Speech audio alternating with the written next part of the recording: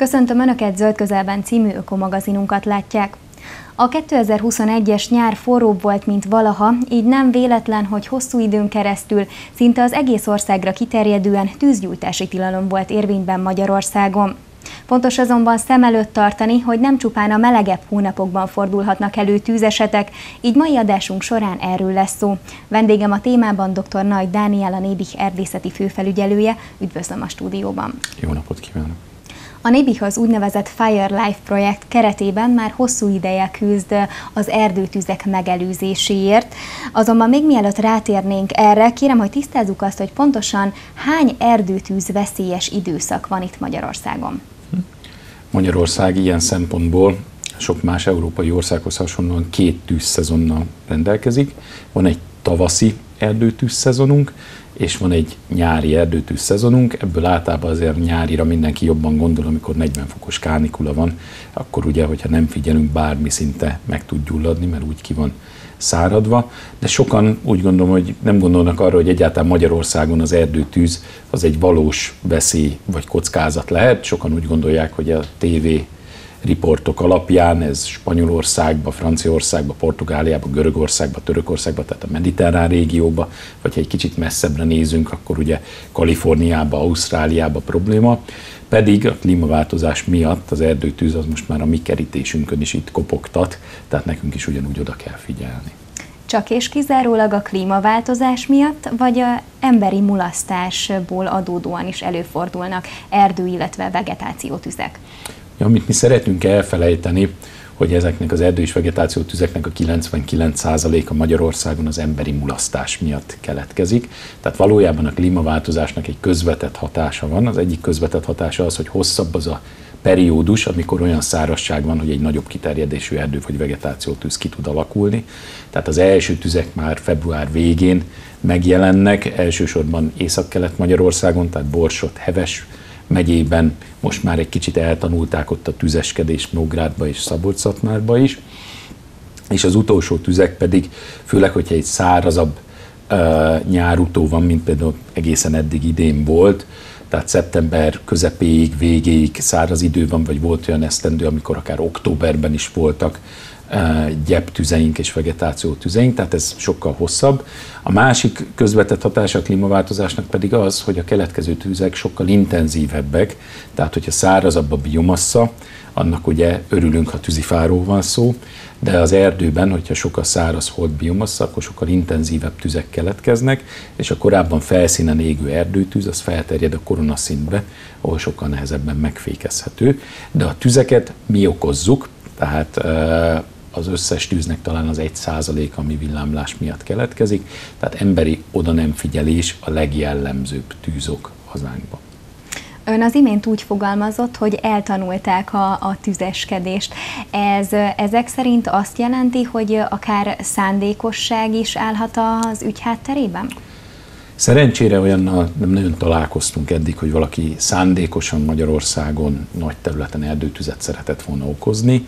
Általában ezek az erdő és vegetációtüzek a tavaszi tűzszezonban abból keletkeznek, hogy bizonyos területen az emberek szeretnék leégetni a vegetációt vagy a növényzetet, vagy otthon a kerti hulladékot úgy égetik, hogy erre nem figyelnek. Tavaszi tűzszezonban az a nagyon csalóka, hogy tél után, hogyha kitavaszodik, ugye mindannyian örülünk, hogy itt a, az új év gyakorlatilag a természetben, és nem gondolunk arra, hogy az előző évből visszamaradt, elszáradt gyep, illetve vegetáció, az milyen könnyen is meg tud gyulladni.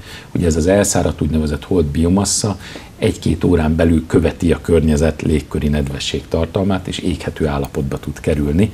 Február-márciusban látjuk ezeket a nagy elsárgult, zsombékos részeket akár, ez is meg tud gyulladni, vagy ugyanígy a nádasok, és hatalmas természeti kárt is okoznak ezek a tüzek, hiszen ilyenkor az újrainduló természettel nagyon sok fa is az utódnevelés időszakába lép. Sokszor viszont találkozhatunk azzal a jelenséggel, hogyha gépjárművel közlekedünk, hogy az előttünk haladó járműnek a vezetője vagy az egyik utasa nemes egyszerűséggel kipöcköli a cigarettacsikket az autóból. Hogyha jól sejtem, akkor azért ez is okozhat némi problémát. Hát ez a második leggyakoribb alaptűzok gyakorlatilag, hogy nem gondolunk arra, vagy hát a tisztelt dohányzó sofőrök és utasok nem gondolnak arra, hogy ezek a cigarettacsikkek még tartalmaznak egy-egy ilyen izzó kis részt, és lehet, hogy ők az úttestre pöckölik, de az utánuk jövő gépjárműnek a menetszele az ugye befújja az árokba, ahol nagy, nagyon sokszor a visszamaradt kaszálékanyag is elszáradva hogy ott hever.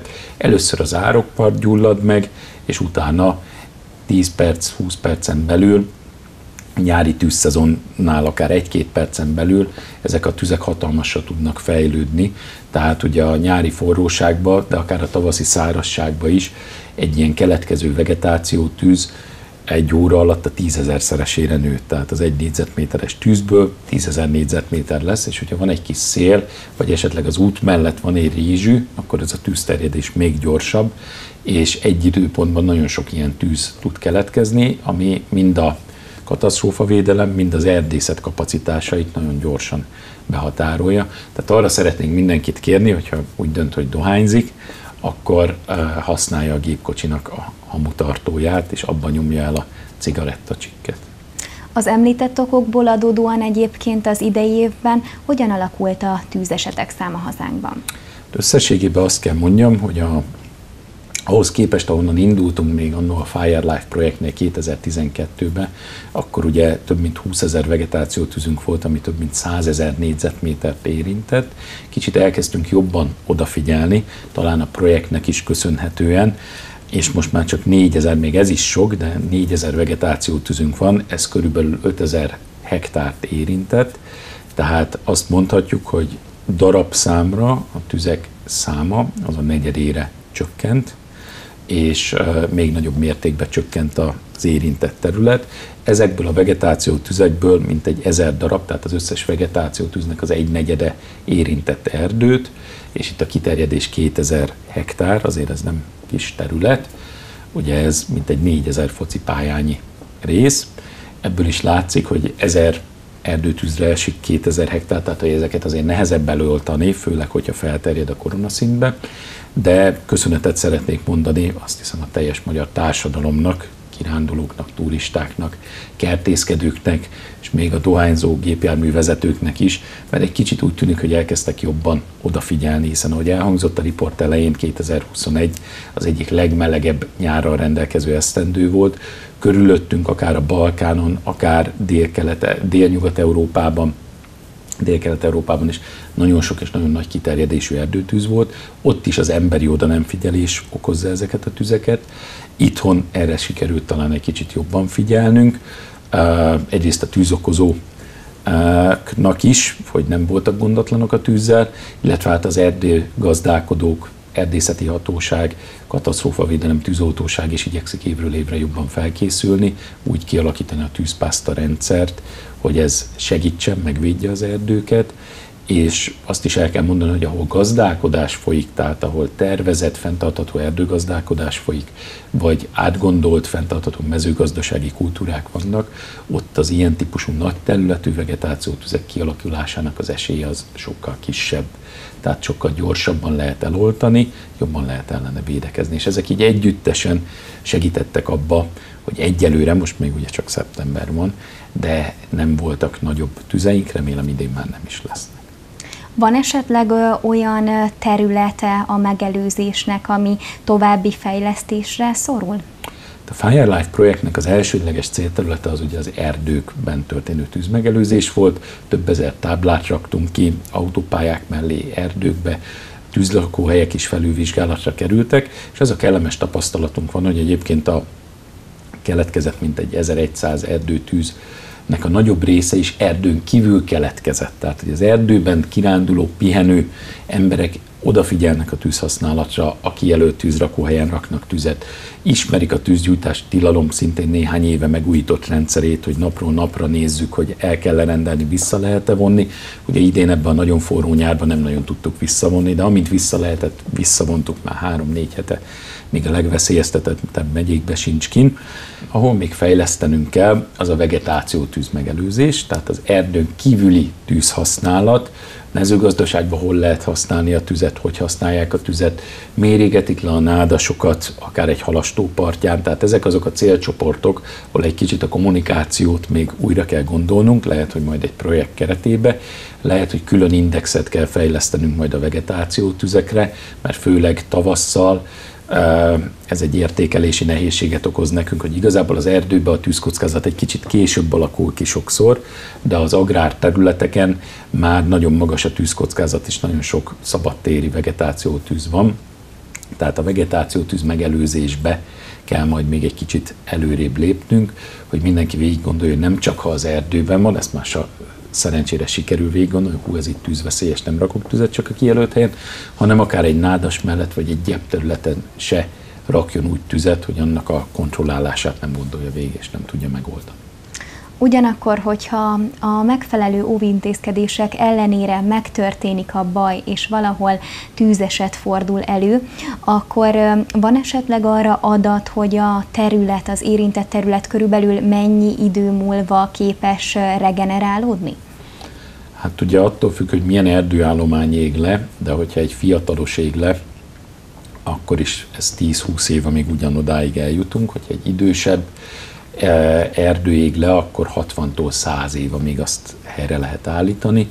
Arról nem is beszél, hogy mindenki a szép zöld erdőbe szeret kirándulni, nem az elszenesedett kiálló facsonkokat szereti nézni. És hát az erdőtűznek azért van egy másodlagos hatása is, hogy egyrészt erőket von el, például a katasztrófa védelemnél nagyon sok vegetáció tűz van, vagy erdőtűz van, akkor a tűzoltó kollégáknak oda vonulni kell, és ezzel vannak elfoglalva teljesen feleslegesen, hiszen egy másodperc odafigyeléssel meg tudtuk volna előzni adott esetben az egynapos vagy egyhetes tűzoltást. Másrészt pedig nagyon-nagyon másodlagos károsítás kockázata, tehát egy nagyobb területű erdőtűznél ugye a hírekben is szoktuk látni, hogy fellépnek utána az eróziós, deflációs károk, földcsúszamlások alakulhatnak ki, hiszen hogy nincsen növényborítás, akkor a víz sokkal gyorsabban tud lefolyni, tehát egy nagy területi erdőtűz másodlagos hatásaként akár villámárvizek is tudnak keletkezni, hogyha olyan a terület domborzata.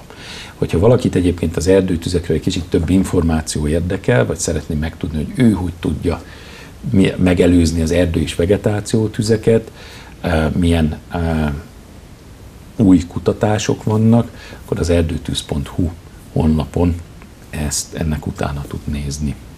Ami egyébként a tűzgyújtási tilalmi rendszert is bemutatja, illetve az aktuális helyzetről is árulkodik. Igen, itt frissül minden nap a tűzgyújtási tilalom térkép is, de szerencsére ezt a térképet sikerült úgy lefejleszteni, hogy nagyon sok más honlap is át tudja venni, tehát ez a térkép a katasztrófavédelem.hu honlapon és az erdőtűz.hu honlapon frissül, az erdészeti hatóság és a katasztrófavédelmi is kollégák együttműködésének hála, de nagyon sok más turisztikai vagy hírportálon is ez átvételre kerül, és érdemes mielőtt kirándulást tervezünk valahova, erről meggyőződni, hogy ott éppen mik az aktuális szabály.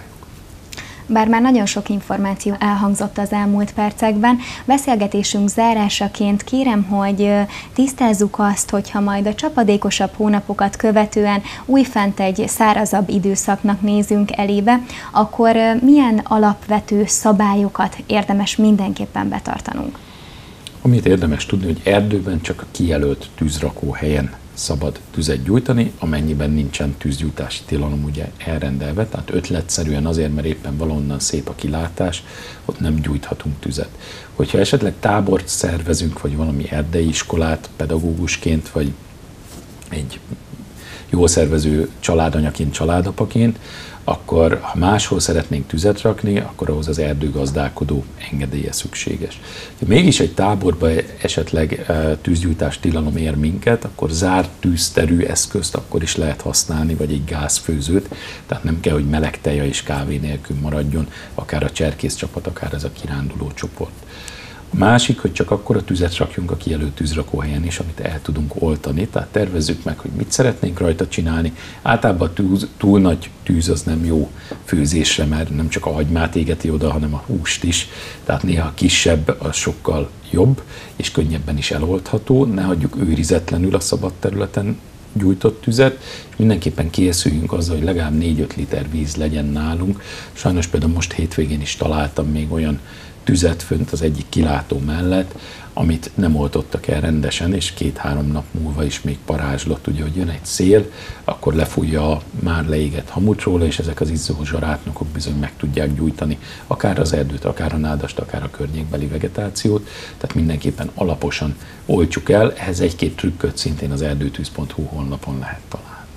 Nagyon szépen köszönöm a beszélgetést, remélem, hogy műsorunkkal is hozzájárulhattunk ahhoz, hogy felelősségteljesebben állnak majd a túrázók a környezethez, illetve a mindennapokhoz. Köszönöm még egyszer. Köszönjük a lehetőséget. Önöknek pedig, kedves nézőink, köszönöm megtisztelő figyelmüket, jövő héten ismét zöld közelben. Addig is minden jót kívánok, viszontlátásra!